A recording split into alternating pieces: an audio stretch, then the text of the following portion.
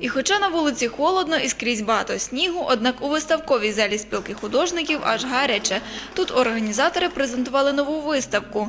На ній, окрім літніх пейзажів, є і еротичні портрети, і жіночі скульптури. Завжди е, пейзажі, натюрморти, пейзажі, натюрморти. Ця виставка трошки має інший е, такий е, відтінок. Ми зібрали роботи рівненських художників, які працюють е, в якійсь е, ну, в темі е, кохання, якоїсь доброти, любові. Загалом два десятка як молодих, так і досвідчених авторів представили на виставці майже 50 робіт.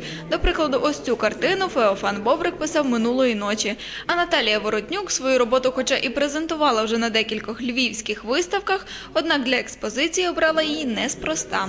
Ця робота моя вона якнайглибше розкриває світ жінки. Е, Поле, назва поле. Е, Поле це як символ, як символ материнства, символ родючості. А от рівнянин Михайло Йоршин поєднав одразу декілька образів у своїй роботі. Сиділи молоді дівчата, так собі. Вони трохи там покупались, трошки щось то, і так на сонечку з метеликом грали, метелики якісь е, є. От воно мене наштовхнуло на це, щоб це десь втілити в якомусь матеріалі.